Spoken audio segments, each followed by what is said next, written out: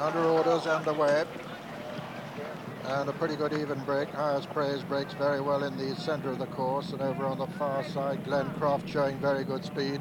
Glencroft, in fact, towards the left of the picture is the early leader in this seven furlong handicap. He's being tracked by Ajanac over on the far side. Running well towards the next side is Aradu. And it's Aradu towards the right of the picture and Glencroft towards the left over on the far side. Glencroft and Aradu disputing it with highest praise next, and then comes Berkeley Street, Ajanac. Jamarj is well up there, start rights well there on the stand side, but it's still Glencroft and Aradu disputing it as they come down now towards the three furlong pole.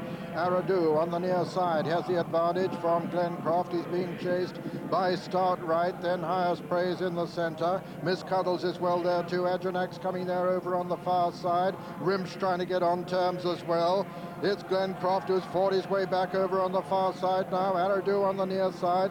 Very little between these two. Ajanac is over on the far side with Bell Bayou and Hello Vaigly putting in a good run in the center of the course and also coming there strongly in the center is Mac's Fighter. They're coming down now towards the line, and it's Glencroft over on the far side as they race up towards the line. Glenn Croft has the advantage from Dwell on the near side and Mac's Fighter the near side. Glencroft from Mac's Fighter as they come to the line. Mac's Fighter's just got up to win under Cash Asmussen. Glencroft and Dwell in a photo for second and third, and Shabanaz was fourth.